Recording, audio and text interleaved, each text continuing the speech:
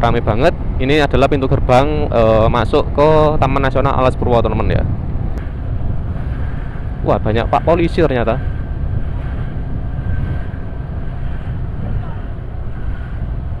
Oh. Biasanya itu kalau prewedding itu di sini, teman ya, di area sini, di area jalan yang ini, teman ya. Soalnya kan banyak pohon-pohon yang gede juga, terus pemandangannya juga ya lumayan lah, bagus ya. Oke teman-teman, assalamualaikum warahmatullahi wabarakatuh. Kembali lagi dengan saya di channel Lison Gelang Official ya. Oke teman, jadi kali ini saya sudah memasuki kawasan Alas Purwo teman ya. Jadi ini adalah eh, salah satu hutan alas ya, hutan atau alas eh, paling angker di Indonesia teman. Jadi eh, seperti apa kondisinya sekarang ini? Nah, ini silakan dinikmati saja untuk suasana nih menuju ke arah gerbang atau pintu masuk Alas Purwo, teman-teman. Ini juga di jam berapa ya? Di jam 11 siang, teman-teman. Jam 11 siang di tanggal tanggal 7 ya, tanggal 7 Mei 2022, teman-teman. Eh, anak anjing rek. Oke, teman-teman. Jadi untuk eh lok apa?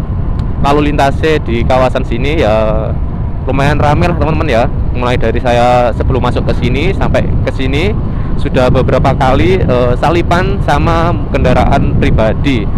Wisatawan-wisatawan teman-teman ya.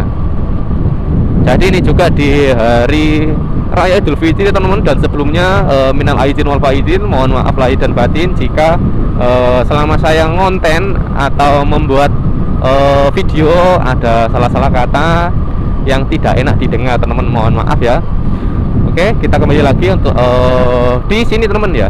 Di videonya ini di perjalanan menuju ke Alas Purwo teman ya, Taman Nasional Alas Purwo. Jadi kali ini saya tidak bakal membahas kemisteriusan eh kemisteriusan misterinya teman ya, kemistisan Alas Purwo, tapi kita bakal uh, membahas keindahan yang ada di Alas Purwo teman-teman ya.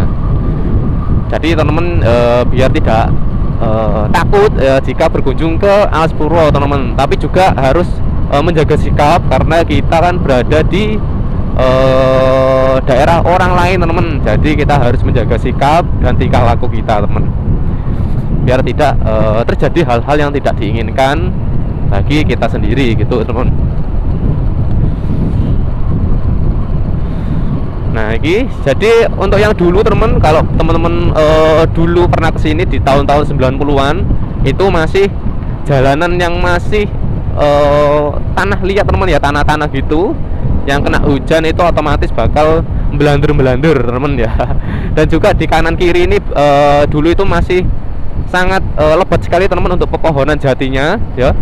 Pepohonan jati maupun pohon-pohon yang uh, tumbuh di daerah uh, sini teman ya jadi sekarang untuk uh, sebelumnya sini ini sudah mulai uh, terang teman ya. Karena banyaknya uh, penebangan hutan ya. Penebangan terus ditanamin lagi seperti yang kanan ini teman ini dulu lebat sekali teman tapi sekarang sudah agak terang karena sudah uh, ditanamin jati lagi ya. Jati baru lagi untuk uh, pemulihan ekosistem yang ada di Alas Pro teman ya jadi biar tidak gundul hutannya jadi ditanamin lagi biar lebat kembali seperti dulu kala teman cuman untuk jalannya sendiri ini sudah bagus dan mulus teman dan masih uh, sempit ya. Jadi teman yang membawa roda kendaraan 4 uh, mobil-mobil pribadi hati-hati ya soalnya jalannya masih sempit. Jadi kalau berpas-pasan dengan mobil lain itu otomatis bakal ada yang ngalah ya. Soalnya kenapa jalannya sempit kayak gini teman-teman tapi kalau roda dua sih ya lumayan lah enak ya. Seperti ini untuk jalurnya jalur sudah mulus. Dan ini saya juga bareng rombongan teman wajar. Jadi dari rumah tadi sekitar ini ada 11 orang rombongan naik roda dua kendaraan roda dua. Motoran ya. Nah ini. Uh, keren. Mantap. Jadi teman-teman yang mau ke sini ya untuk BBM nya untuk BBM nya sendiri uh, harus diisi dulu ya. Soalnya di sini itu nggak ada yang jualan apa jenisnya nggak ada jual bensin teman jadi otomatis bakal kalau uh, habis bensinnya ya wis otomatis nonton ya. Tapi kalau nonton sekarang ya nggak apa-apa sih jalannya api nggak kayak dulu. Dulu pernah teman saya ke sini itu pas uh, jalannya masih jelek dulu ya. Masih kecil saya masih paling umur sekitar ya 6 tahun 10 tahunan lah ya itu. Itu main-main ke sini bareng orang tua dulu ya boncengan nah. Nah, tiba eh sini entek ya pas mau pulang habis jadi ya otomatis dorong dorongan teman-teman. Wah soalnya dulu itu masih di sini itu nggak seperti ini teman beda jauh sama sekarang. Kalau dulu masih hutan-hutan lebat terus jalannya itu jelek banget teman ya. Pasti mungkin teman-teman yang uh, dulu pernah ke sini di tahun-tahun 90-an gitu itu mungkin tahu untuk suasana di Alas Purwo itu seperti apa. Dan kemistisannya itu pasti sangat uh, terlihat sekali teman ya. Walaupun masih belum ke dalam-dalamnya ya. Itu sudah terlihat soalnya hutannya lebat sekali dan juga gelap teman soalnya rimbunya hutan itu ya itu membuat uh, sinar matahari tidak masuk ke dalam sini. Nah itu teman ya. Ini jabon ya sebelah kanan ini. Ini tanaman jabon mirip-mirip sama jati. Tapi bukan jati cuma jabon ya. Tidak tahu itu jenisnya beda atau sama. Oh wite wis merujuk ternyata. Sudah berbunga teman ya. Sudah berdaun. Jadi di depan sana itu adalah uh, pohon salah satu pohon pohon besar ya. Cuma satu. Itu yang menyambut kita ketika datang ke sini. Nah itu pasti teman nggak asing lagi dengan pohon yang satu ini.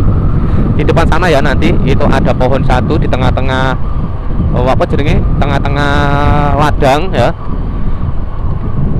Nah ini di depan sini teman wah ternyata sudah uh, berdaun ya. Nah ini adalah pohon yang satu. Nggak tahu ini jenis pohonnya apa teman-teman. Cuman uh, sejak dulu teman ya. Sejak saya kecil dulu itu sudah ada di sini. Tapi untuk jenis pohonnya sendiri itu nggak tahu itu jenis pohon apa teman yang tahu bisa komen-komen saja untuk jenis pohonnya itu apa. Ya biar kita tahu. Biar nggak ada tanya-tanyaan ya Oke kita lanjut lagi untuk perjalanan ini dan ini adalah jagung teman ya. Ditanamin jagung sebelah kanan saya ini. Nah ini dulu itu di sini teman itu sebelah kanan ini. Itu lebat sekali pohon jatinya teman-teman. Nah sekarang ini sudah beralih fungsi jadi ladang jagung ya. Seperti ini seperti sebelah kanan saya ini. Ini ladang jagung. Sudah beralih fungsi jadi jagung-jagungan kayak gini ya. Nah ini sudah ada yang mau keluar ya. Sudah mau pulang dari Alas Purwo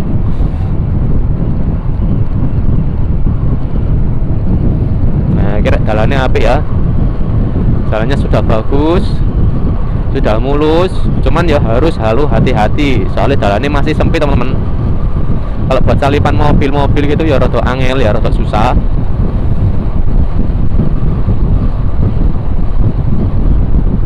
nah kita sudah mau memasuki lagi hutannya nah kita teman Wah, ada anak monyet lah. Iki kancane Mbak Depi. kancane Mbak Depi. Jadi di Alaspura juga masih banyak eh, binatang-binatang uh, liar teman-teman ya, satwa liar di, uh, yang berkeliaran di uh, sepanjang jalur ini ya, sepanjang jalur-jalur Alaspurwo, terutama di jalan rayanya ini. Jadi teman-teman kalau lewat sini tuh hati-hati, uh, takutnya nanti ada satwa liar lewat ketabrak, yo kan yo sakno pisan, sakno pisan teman-teman juga nggak jatuh ya nggak apa-apa kalau nggak kalau jatuh ya iman-iman ya nah ini teman sudah masuk ke dalam sana wah ternyata rame banget rek nah ini teman wah rame rek ya nah ini wah, rame banget ini adalah pintu gerbang e, masuk ke Taman Nasional Alas Purwo teman ya Oke, jadi videonya tak akhiri di sini saja. Nanti kita lanjut lagi di depan sana. Nah, ini selamat datang di Taman Nasional Alas Purwo Banyuwangi. Uh, mantap, Rek. Ini masuk ya. Nah, ini masuk ke kanan ya. Jadi untuk roda dua ini ke kanan. Wah banyak pak polisi ternyata.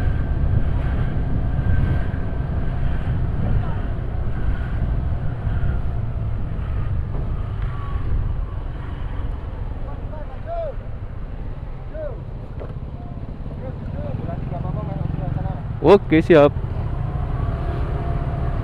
Oke pakai dulu untuk beli karcis teman-teman ya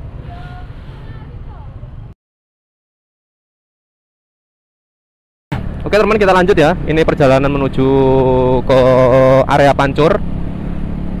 Jadi ini adalah uh, Suasana rek mantap ya Jadi hutannya teman ini sangat lebat sekali Di depan sini ya. Wah keren rek. Jadi di sini juga uh, sebagai spot favorit uh, foto ya Buat teman-teman yang berwisata di Alas Purwo. Nah seperti ini. Jadi hutannya itu sangat lebat sekali dengan pohon-pohon yang gede-gede teman ya Seperti ini ini adalah pohon apa jenenge ya? Mahoni ya? Ini adalah uh, pohon mahoni teman-teman. Jadi kita ambil yang ke kiri. Nah ini jalannya ke kiri. Agak meningkung. Wih mantap nah jadi ini nanti kita bakal melewati eh, situs-situs uh, anu ya. Pura ada pura kawitan ada pura satu lagi namanya lupa rek. Nanti kita ke sana. Wah kita banyak. Yang foto-foto nah seperti yang saya masukkan tadi teman-teman jadi di sini itu adalah uh, spot favorit uh, bagi wisatawan yang berkunjung di Alas Purwo buat foto-foto atau bikin video. Biasanya itu kalau prewedding itu di sini teman ya. Di area sini di area jalan yang ini teman ya. Soalnya kan banyak pohon-pohon yang gede juga terus pemandangannya juga ya lumayan lah bagus ya. Nah yang saya uh, sebutkan tadi teman ini adalah puranya sebelah kiri saya ini ya. Nah ini adalah pura jenengnya aku lali saya tak bocor saya diluk nih gini ini ada puranya oh ya ini adalah pura luhur Giri Salaka teman-teman. Dan di, di seberangnya sana itu adalah situs kawitan ya. Situs kawitan. Nah di depan sini adalah uh, situs kawitan. Dan juga ada lagi ada upacara adat teman ternyata ya. Ternyata ada upacara adat di Pura Giri Salaka tadi sama di sini. Nah tadi juga banyak rombongan uh, yang ingin upacara sih ya. Upacara adat di daerah sini Mas Purwo. Oke kita bakal ke mana yo? Langsung ke kanan saja wis. Nggak usah ke lurus soalnya kita mau ke arah nanti ke arah apa jenenge? Pancur temen nah ini dan saya bareng mbak mbak Devi mbak Devi Sucipto. Anak Pak Sok. Oke lanjut lagi ini ngerekam apa orang ini? Oke saya rekam ya. Jadi untuk tiketnya tadi teman oh, silakan dicek saja di deskripsi video ini biar saya tidak salah menyebutkan untuk harganya ya. Jadi untuk harga perombongan atau harga-harga perorangan terus untuk uh, mahasiswa itu beda-beda teman-teman. Nggak sama jadi teman harus jeli untuk memilih tiketnya Nah ini ke lurus, ini kita ke area pantai Tranggulasi. Jadi kita ambil yang ke kiri, yang ke arah Pelengkung atau Pancur ya. Nah itu adalah pantai juga. Mas udah pernah ke sana, sudah pernah ke sana. Cuman dulu pas belum ngevlog itu sudah pernah ke sana teman-teman. Tapi kalau sekarang ini masih belum pernah ke sana lagi. Untuk pasirnya sama teman-teman, pasirnya warnanya putih ya, putih kayak di Pancur ya.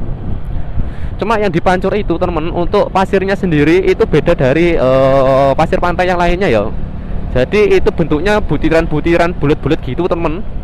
Kayak apa ya? Kayak kayak endok ya kayak telur lah. Kayak telur kecil-kecil gitu temen. Bulat ya bukan kayak pasir. Pasir kan halus gitu. Kalau ini bagus temen.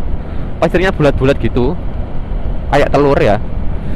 Nah nanti kalau ada waktu tak tunjukkan untuk pasirnya seperti apa. Nah untuk uh, jalurnya temen. Nah ini jalurnya yo kayak gini jalurnya sempit ya jadi untuk yang roda dua eh roda dua roda empat ya itu harus hati-hati kalau oh, melewati jalur yang ini temen aduh watuk rek. Jadi harus hati-hati. Soalnya jalurnya masih sempit ya. Nah dan jangan lupa selalu berdoa teman nah itu adalah kuncinya harus selalu berdoa. Kalau teman-teman melakukan perjalanan jauh atau teman-teman uh, memasuki kawasan-kawasan yang uh, ya seperti ini ya yang agak-agak mistis-mistis. Nah itu teman itu harus selalu berdoa biar selalu dilindungi.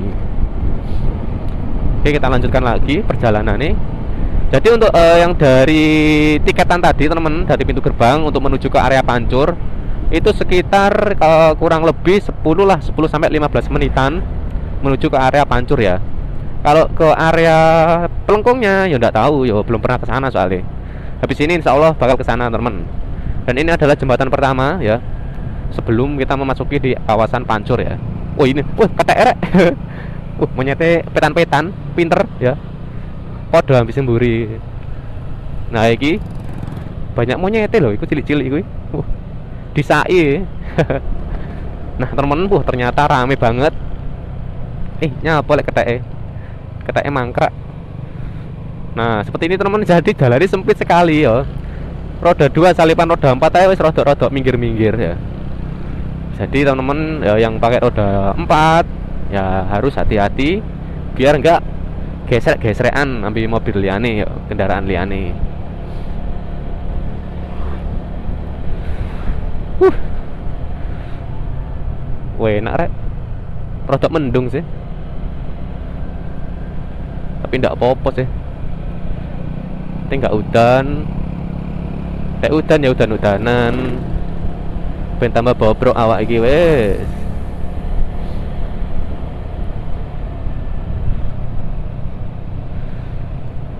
Uh. Nah ini teman jadi yang kangen dengan suasana Alas Purwo untuk perjalanan nih Nah ini sudah tak buatkan. Tapi untuk yang request malam-malam hari Wes. Itu masih tidak bisa teman Soalnya kemarin itu uh, saya datang ke sini jam 3 Rencananya pengen ngevlog untuk malamnya Itu nggak boleh teman ya. Nggak boleh nggak boleh masuk. Takutnya kan ada hal-hal yang tidak diinginkan Kayak uh, ada binatang buas Kayak ya situlah ya. Kan ya pakai roda dua juga teman takutnya seperti itu. Ya kalau roda empat sih ya agak-agak aman tapi yo harus hati-hati juga. Kalau teman malam hari ke sini ya. soalnya kan kalau malam hari kan beda lagi untuk hawanya teman ya. Terus uh, untuk apa jenenge uh, apa ya sing metu kan beda pisan lek bengi ya untuk tempat awake dhewe lek bengi wae turu ya Dile awan ya nggak popo aman kayak gini. Kalau bengi ya masih belum tak buatkan, tapi insya Allah teman nanti ya kalau ada rencana lagi bakal tak buatkan uh, untuk suasana malam hari di Alas Purwo teman ya untuk jalurnya sini seperti apa. Huh, rame guys. Nah ini teman sudah rame. Wih wih wih wih wih wih. Ada yang pulang juga iki wisan. Mungkin ini yang pagi-pagi banget tadi. Sebenarnya saya tadi itu temen e, berangkatnya itu jam-jam berapa ya? Jam setengah eh jam 9 ya jam 9 nah ini jam setengah 12 temen nyampe sini. Soalnya banyak berhentinya di sana tadi. Yo anten-antenan pisan. Nah itu. Jadi ya begitulah. Wah rombongan rame rombongan ini rombongan pencari refreshing ya. refreshing otak ini oke sudah hampir nyampe temen ya. Sudah hampir nyampe uh, kita di kawasan uh, Pancur ya. Jadi teman-teman yang belum tahu untuk lokasi-lokasi uh, tersembunyi di daerah Aspurwo nanti tak uh, kalau nanti ya kalau nutut tak, uh, tak buatkan video nih soalnya nutut tempatnya sendiri itu bagus teman-teman. Buat foto-foto juga bagus buat nongkrong juga bagus. Kalau buat uh, apa bakar-bakar ya juga enak. Soalnya itu letaknya tuh di di atas bukit teman jadi pas uh, lempengan anu ya apa air laut itu. Jadi cocok buat teman-teman yang ingin refreshing di atas gunung tapi duduk gunung. Tapi di atas bukit yang ada di Alas Purwo ini teman. Sebenarnya bukan bukit sih itu adalah ya kayak ini teman ya. Dataran tinggi lah kan kalau lautnya kan di bawah tapi di atasnya lautnya gitu. Tapi bukan bukit ya. Tapi dataran kayak gini lah dataran datar cuma yo kerowok wisan ya. Tra, tra apa jenenge? Tra air laut gitu teman ayo di tebing teman ya tebing. Ya, apa yang ngomong tebing mau kok angel men ngono loh di daerah tebing. Nah, ya. untuk lokasinya yo cedek sih. Di daerah parkiran sini ya. Nah ini untuk parkiran mobil sebelah sini untuk parkiran motor sebelah kiri nanti teman ya. Oke videonya akhirin di sini saja teman dan terima kasih yang sudah menonton video ini. Dan salam uh, sejahtera selamat berlibur bagi teman teman yang ingin berlibur di Banyuwangi. Dan terima kasih. Assalamualaikum warahmatullahi wabarakatuh. Sampai ketemu lagi di video saya selanjutnya aduh rame guys ya Oke, kita ambil yang ke kiri. Ini adalah parkirannya. Ya. Nah, saya tak golek parkiran. Oh, iki full kabeh iki. Masa ditebung dalane rek, rek. Sakno, sakno.